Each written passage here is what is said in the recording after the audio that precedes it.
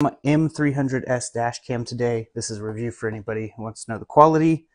It's really nice. It says ultra wide 4K. Uh, when you mount this, this is just an adhesive.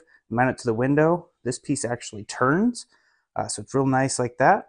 It says USB, audio, video, and micro SD card, which is a 64 gig. It comes with that, plus the power supply right here that you can actually charge your phone or whatever else with.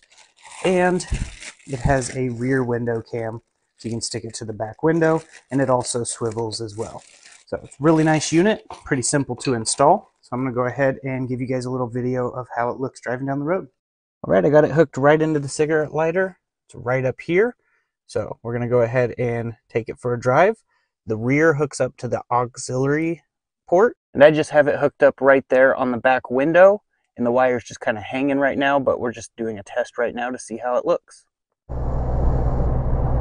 Okay, so here it is driving at night, and uh, the quality looks pretty good. The app is pretty easy to use, and the audio sounds pretty good. So overall, I'm pretty impressed with this unit.